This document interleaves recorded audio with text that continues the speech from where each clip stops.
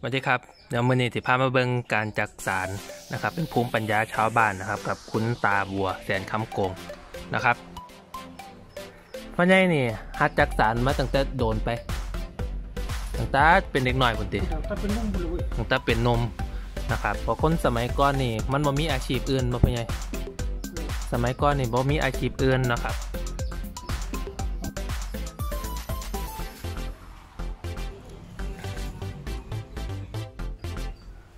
นี่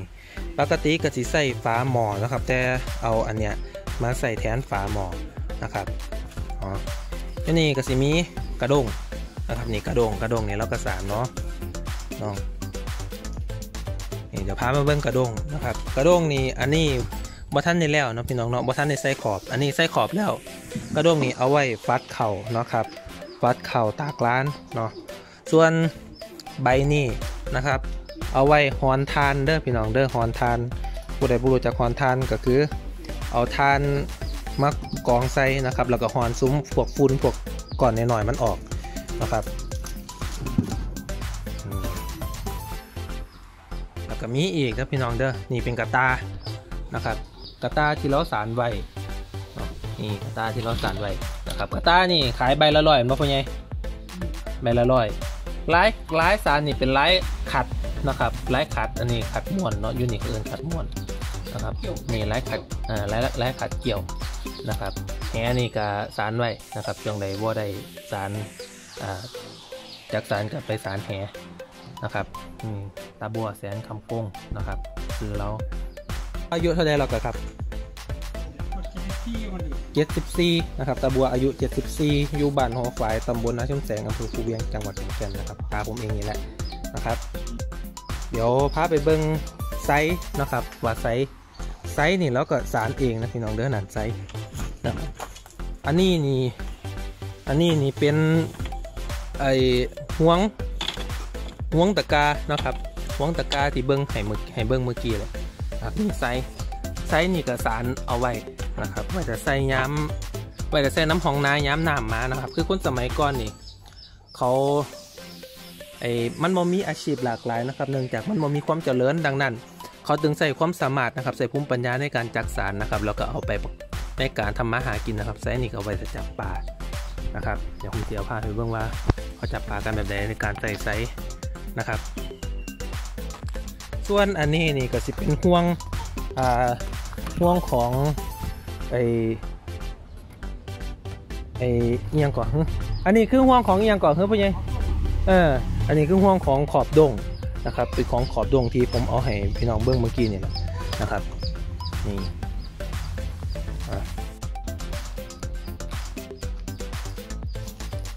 อันหนึงนี่ใส่เวลาโดนปันไหนก็เป็นไงกว่าสิได้แต่ละอันทั้งตาบุกอยู่ที่นี่ไปเลยนะประมาณมือหนึ่ง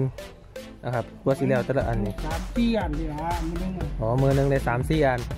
นะครับนั่นอันที่เราเห็นแล้วเนาะเนาะเมียกับเขาไปเอาคนอื่นก็นะครับ เมื่อยกับเสาเนาะขี่ข้านกับเสาเห็ดนะครับตอกอันนี้คือตอกเอาใบสารเนาะพี่น้องเนาะนี่นี่ตอก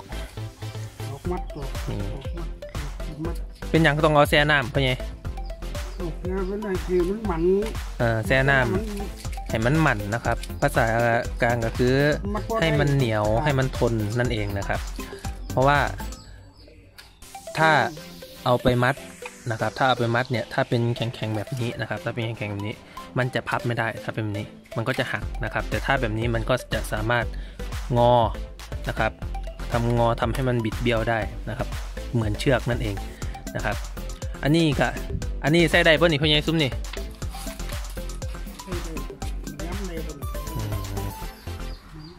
นะครับนี่คือตอกเด้อนะครับ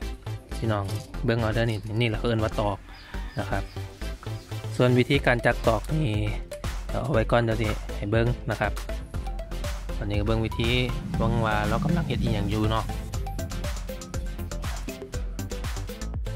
อันนี้นี่แล้วเราไปพะยัยอันเนี้ยเดี๋ยวสมัดซื้อแล้วสมัครท่านต้องใส่เสียกอีก ได้เงี้ยปีกเนาะต้องได้เย็บอีกเนาะครับพี่น้องกว่าจะแล้วเนาะดังนั้นกว่าจะได้แต่ละอันเนะครับมือหนึ่งนี่ประมาณ4อันนะครับอันละจากบาทไปเนี่ยอันละ20บาทแม่นบ่ไอ้อันละสิบบาทที่สิบบาท อันละถ้าส่งกับประมาณ20บาทนะครับ แต่ถ้าถ้าหาขายเองกับประมาณ40บาท50บาทเนาะพี่น้องเนาะนี่นี่เรากำลังสีมัดกำลังนี่มัดเดี๋ยวนี้พ่อใหญ่ มาติดไว้มัดอีกนะครับ ใส่เข็มเจาะเข้าไปก่อนนะครับ แล้วก็ใส่ตอก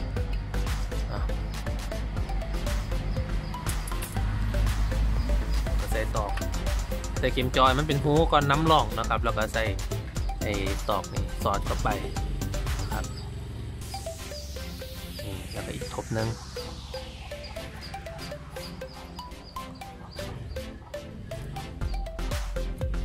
เฮ็ดยากป่ะพ่อใหญ่ไม่ติดก็ ยากอยู่นะครับกว่าจะเหลือแล้วก็ม้วนม้วนม้วนนะครับคดมันไว้นะครับ แล้วก็สอดเนาะอืม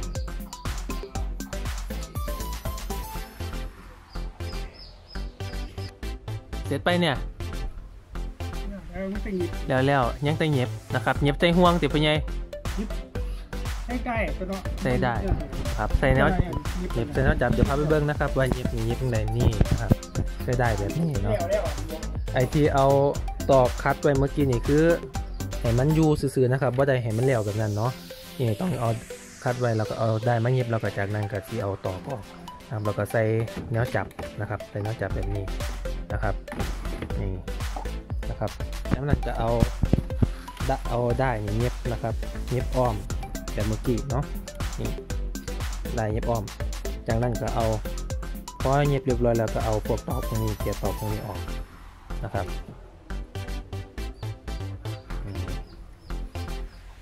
สำหรับคลิปนี้ขอทายให้เบิ้งสำเนีนะครับ สวัสดีครับ